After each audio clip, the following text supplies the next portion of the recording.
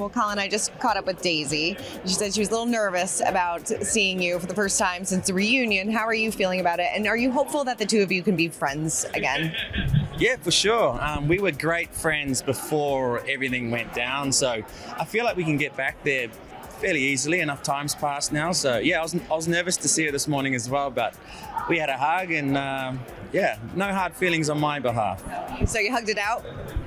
We did.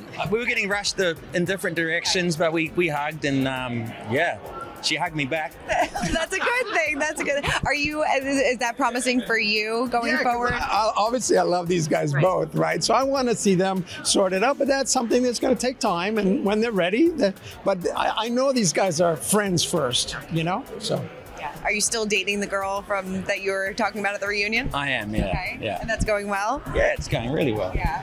Yeah. So are you swearing off boatmances for the for the foreseeable future? Well, my, my girlfriend is on my boat with me, so we're. I guess I'm boat still man. screwing. yeah, I guess I didn't learn my lesson there, but Yeah. yeah, Yeah. it's going well. Good. Good. Have you spoken to Gary at all? uh, not not in the last little while. Okay. Yeah. Have you? Uh, are are the two of you friendly at all?